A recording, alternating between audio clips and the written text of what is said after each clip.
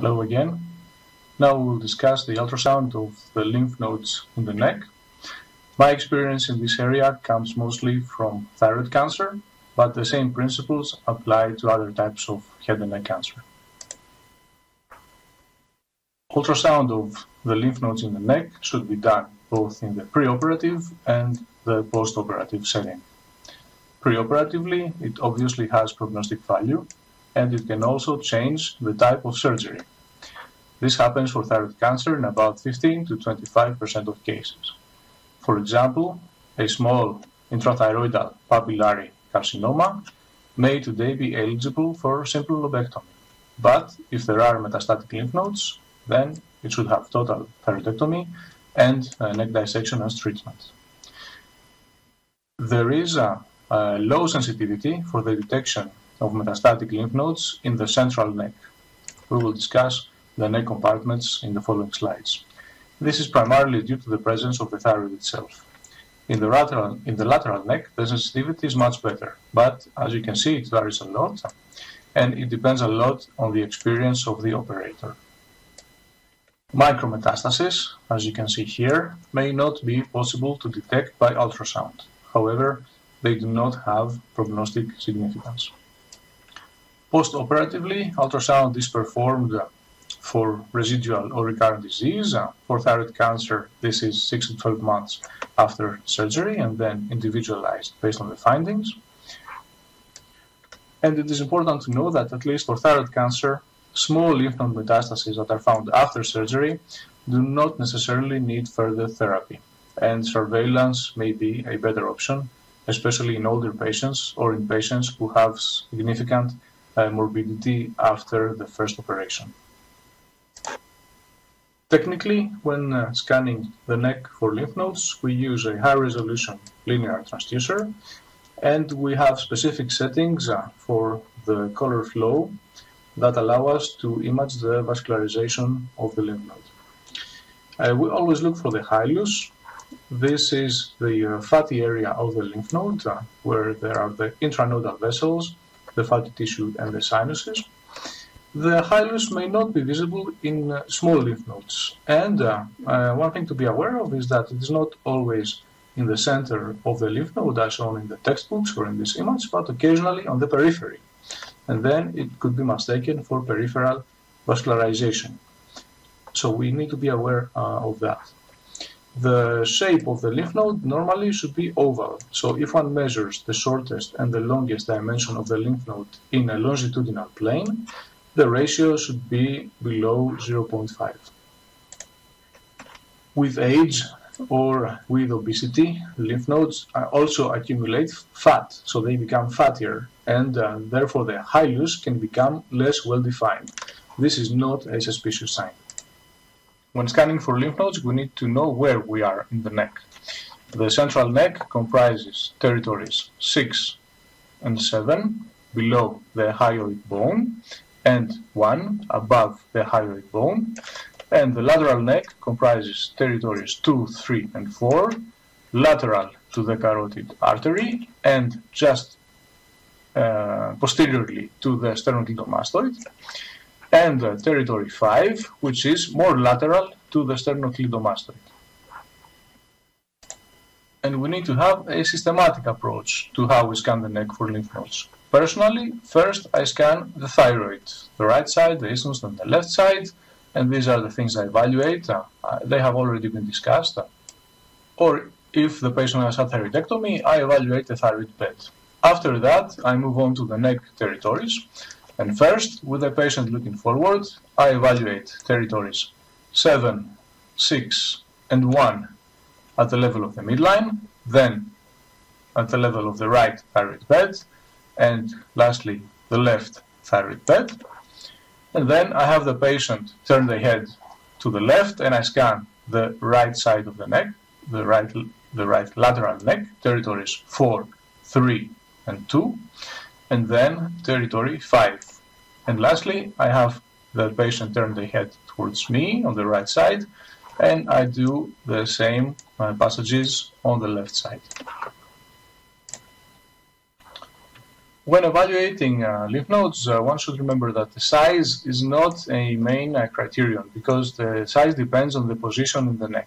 And lymph nodes are bigger in the upper neck uh, because they drain uh, the mouth, uh, the nose, the pharynx, etc. we measured, we mentioned that we should measure on the longitudinal plane the long and short dimensions, and they should have a ratio of less than 0.5 and the short dimension also should be less than 5 millimeters or 8 millimeters in the upper neck. But the sizes should be taken, as I said, with a grain of salt, because you can have bigger lymph nodes at that, and they're not uh, necessarily suspicious. So the size is not very important, but the form can be important, the ratio. The most important thing, uh, thing is the uh, echostructure, and suspicious signs are the absence of a fatty hilus, uh, because it can be a tumor that has infiltrated the sinuses, a round shape, vascularization outside the hilus, peripherally, or both peripherally and centrally, the presence of microcalcifications, uh, an echostructure that is similar to thyroid, or cystic necrosis. Based on these aspects, lymph nodes can be classified as normal when they have a hilus, when they are ovoid in shape and when they don't have any vascular, vascularity or when they have vascularity only at the level of the hilus. They are classed as indeterminate if they don't, we don't see the hilus, and in addition they are round or they have increased central vascularity. And lastly, they are classified as suspicious if they have any of the following microcalcifications, cystic degeneration, peripheral or diffuse vascularity, or if they are hyperechoic compared to the surrounding muscle or isoechoic uh, compared to the thyroid.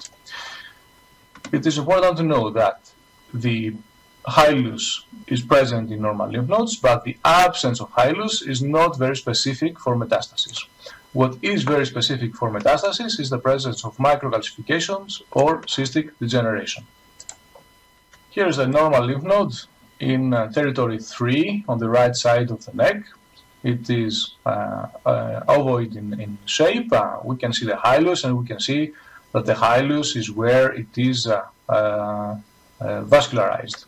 We can also see that the short axis, the depth is less than 5 millimeters. So all of these are normal aspects. Here we see a metastatic lymph node in a patient with papillary thyroid carcinoma. We are in the same territory with the neck, three on the right. This is the carotid artery. This is the sternocleidomastoid. And we can see that this lymph node has microcalcifications of the type that we find in papillary thyroid carcinoma. These are some further examples of metastatic lymph nodes. In this case, a lymph node that has the same uh, uh, tissular aspect or echogenicity as thyroid and a vascularization that is diffuse, both, both in the periphery and the center. This is a lymph node that is totally cystic, and this is a lymph node that is in part cystic and in part solid, and there are microcalcifications in the solid part. This is a metastatic lymph node in a patient with medullary thyroid carcinoma, microcalcification, increased vascularization, and in addition, you can see that the lymph node is hard, so it's compressing the sternocleidomastoid. Uh, it should be the other way around. This is not a formal criterion in the evaluation of lymph nodes, but it's something to, that you can be aware of. So why use ultrasound compared to cross-sectional imaging?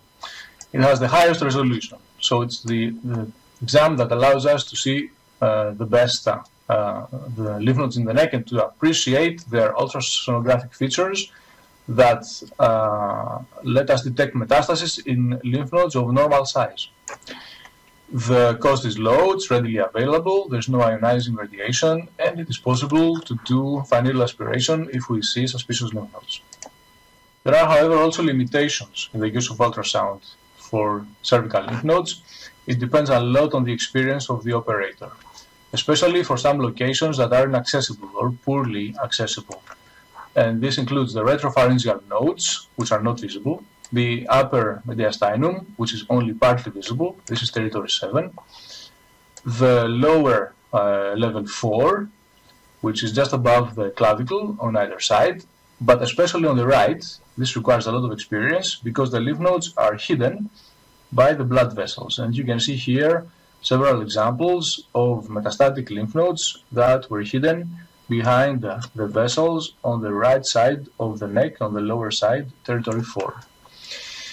Another challenge is that normal structures can occasionally be mistaken for disease. Uh, the esophagus, the muscles, the parathyroids, uh, residual thyroid, and especially the thymus, it looks just like papillary thyroid carcinoma. Uh, other things that can be mistaken for uh, suspicious lymph nodes include uh, scars, um, internal scars, uh, uh, granulomas that develop around sutures or clips, neuromas, and no low-grade inflammatory lesions that are found postoperatively. So it requires quite a bit of experience. To give you an example, let's consider this, this lymph node with its hilus that's vascularized, but also a peripheral vascularization that would then classify it as a suspicious lymph node. Actually, this uh, was a parathyroid adenoma, and uh, we discussed adenomas uh, previously, and this shows the challenges in uh, uh, cervical ultrasound and the evaluation of the different structures. If we see suspicious lymph nodes, we can biopsy them, and one or two uh, passages are usually enough. For thyroid cancer, it is important to measure thyroglobulin and or calcitonin in the needle washout. For example, rinse the needle in 1 millimeter of uh, sodium chloride uh, or uh, buffer, uh, in addition to doing the cytology. Uh, cutoff values are not well defined, uh, but if you get a result in the hundreds or thousands, this is clearly diagnostic. it can be diagnostic even if cytology is negative or if there are no cells found. And this is typical for cystic metastases because they only give liquid and uh, usually no cells. Uh, for other cancer types, there are no specific markers, but uh, usually one or two passages are enough. So my take-home messages are that ultrasound provides the highest spatial resolution and therefore the most useful information for lymph nodes, for lymph nodes in those areas of the neck that are accessible for ultrasound. It uh, facilitates uh, biopsy, uh, which is a safe and useful diagnostic procedure. It is mandatory in the pre and post-operative imaging of most thyroid and head and neck cancers. And high-quality ultrasound increases the patient's chances to avoid future reoperations. And this is the most important thing to take away. So the best evaluation of the patient's neck uh, gives the patient the best chance to be cured with a single surgery. And that was it for the lymph nodes. Thank you. Hello again, this is the last presentation on the salivary glands and uh, the evaluation of their tumors by ultrasound. I uh, must uh, confess that I am not uh, an expert specifically on the salivary glands because I am an endocrinologist and not a head and neck uh, specialist, but I do have the basic knowledge about their uh, ultrasonographic evaluation and I am pleased to share that with you. We will discuss briefly the basic technique uh, for salivary gland, gland ultrasound, uh, the location and echostructure of the glands, as we will see some representative abnormal ultrasonographic patterns, and uh, we will focus mostly on the role and limitations of ultrasound in the workup of salivary gland tumors, and we will focus mostly on the parotid and the submandibular glands. So here is a submandibular gland uh, in territory 1B of the neck. Uh, this is what it looks like on the ultrasound. And as you can see, the appearance of the salivary glands uh, when they're normal, uh, to me, it looks just like a normal thyroid. This is how I like to hold the probe in general, like a pencil, but especially for the submandibular gland, sometimes it is easier to hold it like this. The parotid being a bigger gland, uh, you need to scan at several levels in order to see all of it. And actually, sometimes uh, you may not actually be able to see very well its limits. And this, uh, I find it happens especially uh, after the patient uh, has uh, eaten, because this is when the parotid uh, is activated and salivates. These are the main types of pathologies of the salivary glands, infectious, inflammatory, non-infectious, non-inflammatory, and non-tumoral, and then finally benign and malignant tumors. This is an example of bacterial C. with uh, heterogeneous hyper and hypoechoic aspect, increased uh, blood flow, and uh, often reactive lymph nodes. This would be a patient with fever, pain, a swollen salivary gland, and would need antibiotics and potentially also drainage. This is a list of the various inflammatory pathologies that can be divided into autoimmune, uh, primary autoimmune, and notably Sjogren's syndrome. And in that case, it is important to know that patients with Sjogren's syndrome of the salivary glands, they have a higher risk for non-Hodgkin uh, lymphomas. And uh, in uh, other autoimmune diseases, the salivary glands uh, may also be impacted. And the other type uh, of inflammatory disease of the salivary glands is chronic C. chronic inflammation, uh, sometimes uh, due to obstructive causes, sometimes due to chronic dehydration, uh, occasionally due to sarcoidosis. After irradiation, also after uh, radio radioactive iodine treatment for differentiated thyroid cancer, and uh, some other more rare diseases. This is what a Sjogren's gland looks like and uh, it has typical aspects of autoimmunity with a diffuse heterogeneity with hypoechoic uh, foci. To me, this is a typical aspect of Hashimoto's thyroiditis. So autoimmunity manifests itself in the same way ultrasonographically, uh, whether it be in the salivary glands or in the thyroid. We mentioned that there are some diseases that are non-infectious, non-inflammatory, and uh, non-tumoral, and uh, it's a diverse uh, uh, collection of, uh, of, diseases or conditions.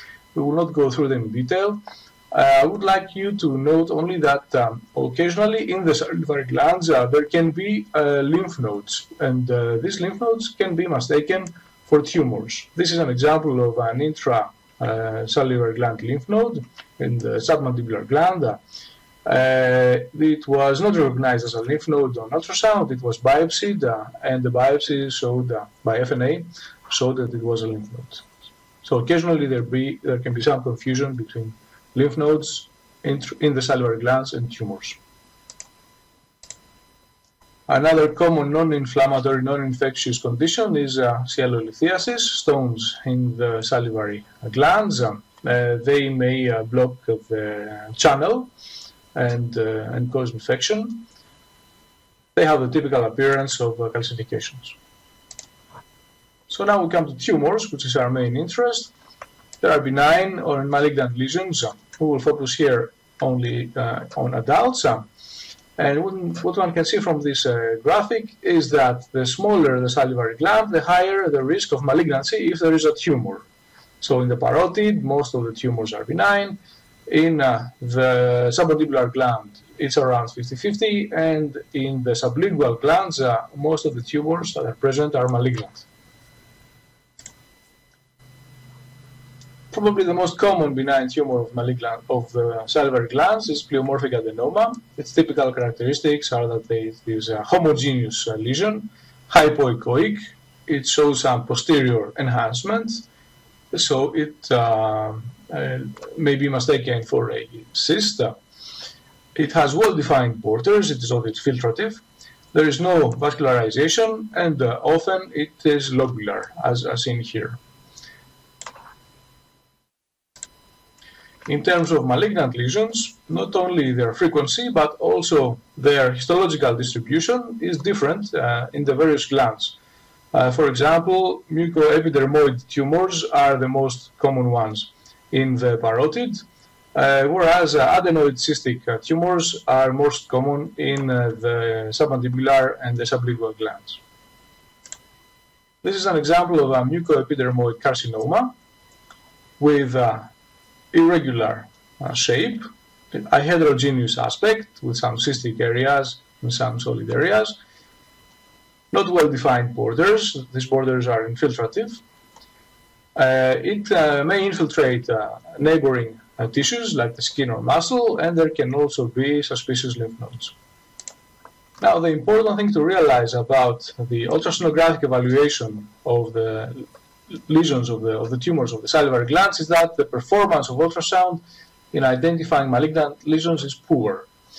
Uh, in the presence of uh, suspicious uh, aspects like uh, heterogeneity, defined borders, increased uh, vascularization, uh, these aspects they have only 72% sensitivity and 86% specificity to identify malignancy. And uh, vice versa for pleomorphic adenomas, uh, the benign aspects that we saw previously, they also have uh, uh, inadequate sensitivity and specificity. And from this, this limited uh, sensitivity and specificity, and therefore this limited accuracy, uh, stems the main limitation of uh, the ultrasound in the evaluation of salivary, salivary gland tumors. This is that it cannot distinguish benign from malignant lesions with sufficient accuracy. In other words, there is no equivalent of the Bethesda system that exists for the thyroid uh, for salivary glands. There is no system based on echographic criteria to determine whether a certain lesion needs to be biopsied or not. And all lesions of the salivary glands normally should undergo biopsy, either with fine needle aspiration or with a core needle Tru-Cut. And of course, uh, the ultrasound is very useful for doing the biopsy, but it is not useful for triaging uh, nodules, uh, sorry, uh, lesions uh, for doing biopsy or not. The other limitation is that ultrasound is not as useful as cross-sectional imaging in the planning of surgical treatment of lesions of the salivary glands. And uh, CT and MRI are better to define the intra versus extra glandular location to assess local extension and invasion and to detect nodal and potential systemic metastasis. I look forward to learning more about the cross-sectional imaging of the salivary glands from the next speaker, and I thank you very much for your attention.